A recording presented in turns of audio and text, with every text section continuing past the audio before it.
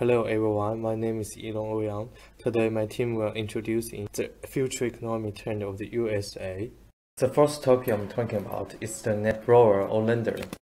According to the data in March 2018, the current account deficit is USD 122.2 billion. Therefore, we can conclude that the USA is the net borrower. Since USA is an open economic country, the current account deficit can result in current trending consumption increase. Hi, my name is Kevin. Today we're talking about the US trading.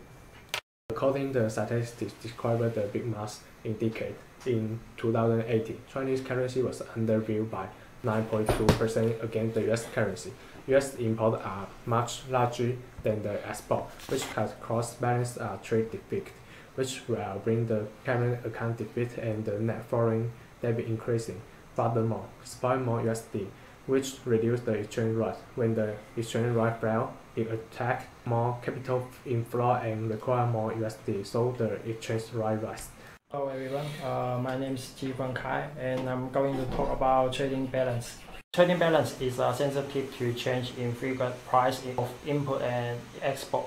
When uh, a country faces an uh, unfair trading balance, it will weakness the country's economic performance and how to going to change it, the government need to currency and reduce the price of export. That make the export product have better competition with other countries. Hi, this is Ge Yuehan and I'm going to talk about the ISLM BP model.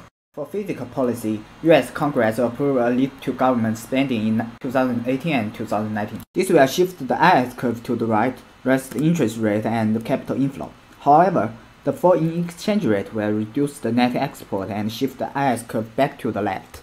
Therefore, the fiscal policy is completely ineffective. For monetary policy, the FOMC sustained to increase the target range for the federal funds rate. This will shift the LM curve to the right, causing capital outflow and BOP deficit. In addition, the interest rate fall and exchange rate rise increase the net export and shift the IS curve to the right.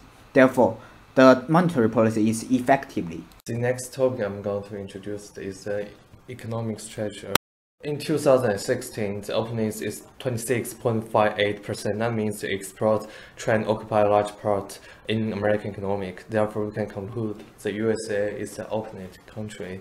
Here are the example of external shocks and internal shocks. So our recommendation for USA government is that first, controlling the borrowing from foreign countries. Second, implement tax reform. Third, reduce the regulation and the infrastructure spending is the end of this presentation. Thanks for watching.